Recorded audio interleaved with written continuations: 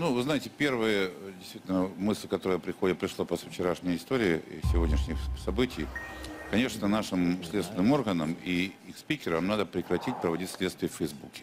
Это правда. Это а, прекратить раз и навсегда. Потому что чем больше они находятся в Фейсбуке, тем меньше э, результатов реальных.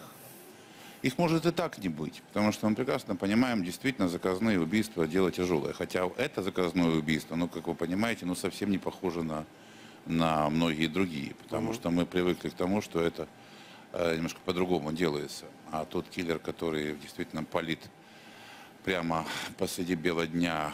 Ну, на работу и- спецслужб не тянет. ну как, наверное. понимаете, нам трудно понять замысел спецслужб. Может быть, спецслужбы были бы заинтересованы в том, чтобы его вообще поймали, между нами говоря. С этим удостоверением. А вот, да, с этим удостоверением. Э, И может он что-то бы сказал, мы этого уже никогда уже не узнаем, на жаль.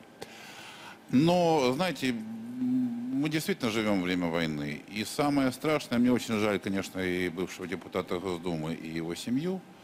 Но все-таки я считаю, что главное, чего нам надо избежать, это подобных действий по отношению к украинским гражданам и украинскому народу.